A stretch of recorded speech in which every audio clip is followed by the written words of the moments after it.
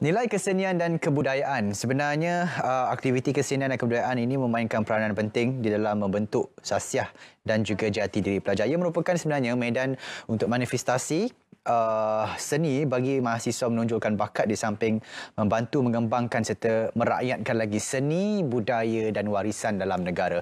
Seperti yang kita janjikan kepada anda di awal rancangan tadi, kita akan bersama dengan Dr. Abdul Hadi Samsi, Fasilitator Kebudayaan, Pusat Kurikulum Universiti Putra Malaysia. Assalamualaikum, Doktor. Waalaikumsalam warahmatullahi Allah, Doktor janji untuk nak nyanyi satu lagi lagu di hujung rancangan nanti. Hmm, insyaAllah, insyaAllah. nak tahu lagu apa kita kena tunggu, tapi sebelum tu kita nak tanya. Uh, kalau kita ikutkan kebudayaan dan juga kesenian ini, mm-hmm. adakah ia disebabkan minat ataupun bakat sedia ada, doktor? Okey, baik. Uh, soalan yang baik sebenarnya.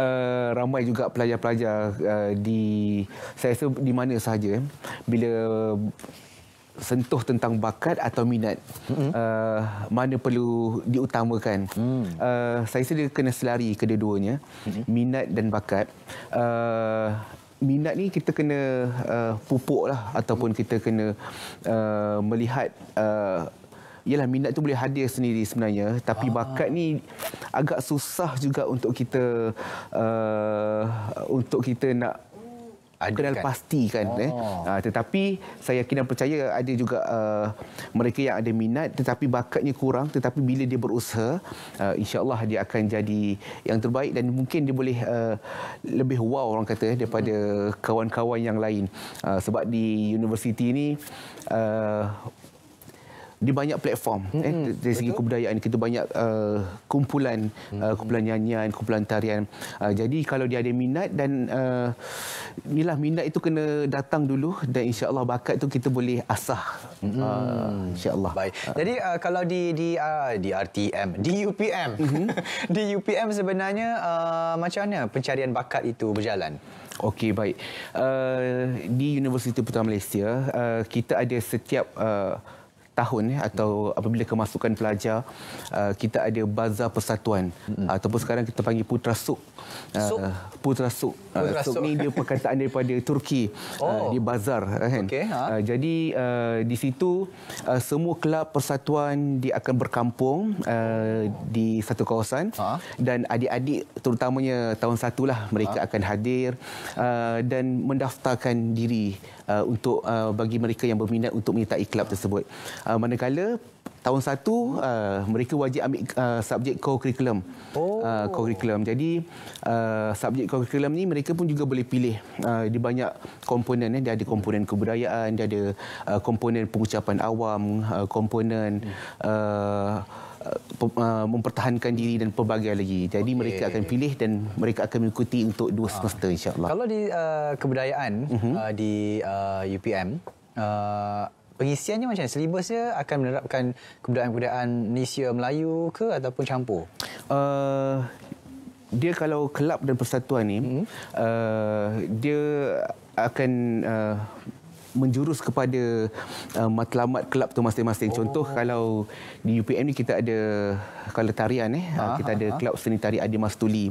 Oh, uh, kalau tarian Indianya kita ada kelab uh, uh, klasik Kalashitra. Uh, ha. Jadi Uh, di situ mereka akan diajar hmm. dan fokusnya adalah kepada pembangunan bakat tersebutlah. Hmm. Uh, kalau di kelas kurikulum juga pun kita ada uh, uh, kelas asas uh, tarian India, oh. uh, kelas uh, asas uh, tarian kompang macam oh. saya saya pun pernah mengajar sekarang ini gordang sembilan. Allah. Uh, jadi uh, di situ uh, mereka akan hadirkan uh, hadirkan diri dan uh, kita akan ajarlah dia ada silibus dia dan dia ada rubrik oh. uh, yang perlu diikut uh, di situ. Kita pun apa nak dengar sikitlah suara doktor yang ni lagu tradisional Melayu. Alamak. Ha, pantun budi, pantun budi.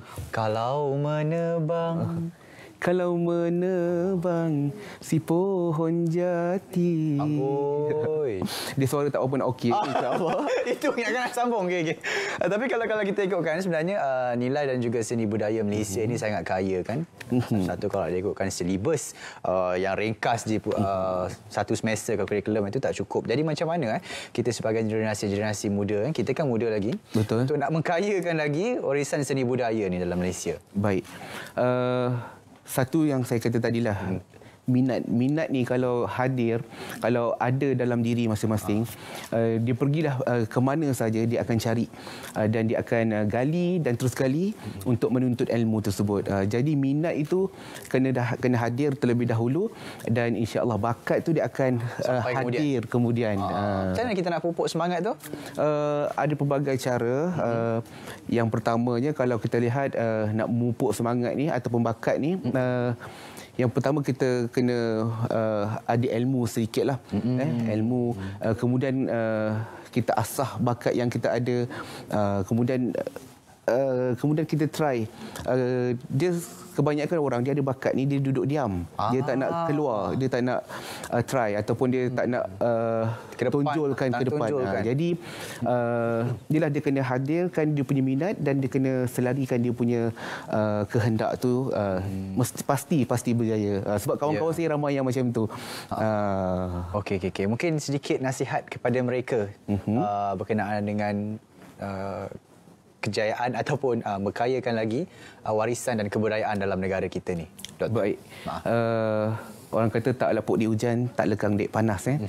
Uh, jadi uh, kita sebagai orang kata uh, penyambung generasi eh, Mm, walaupun pelbagai uh, budaya luar yang hadir hmm. tapi kita jangan lupa asal usul kita dan kita kena pupuk rasa minat hmm. dan sayang dan kita ni sebagai uh, generasi muda ni yang kita kena pelihara balik hmm. dan kita lihat uh, tuntutlah ilmu hmm. eh tuntutlah ilmu uh, belajarlah eh insya-Allah kita akan uh, rasanya dia akan selari dan dia akan relevan sampai bila-bila nanti ya betul sebenarnya itu minat dan sayang kalau kita sayang kita jaga elok-elok betul setia kepada apa yang kita sayang betul dah doktor betul Astagfirullahalazim jadi apa yang nak ucapkan terima kasih kepada Dr Abdul Hadi uh, Facilitator Kebudayaan Pusat Kurikulum Universiti Putra Malaysia kerana minat Dr. Hadi berada di sini untuk menyampaikan lagu kepada kita. Ya. Dan di hujung rancangan nanti, Dr. dah janji satu lagi lagu untuk nyanyi bersama dengan kita. Nyanyi lagunya rahsia. Kita akan kembali selepas ini dalam Lensa IPT.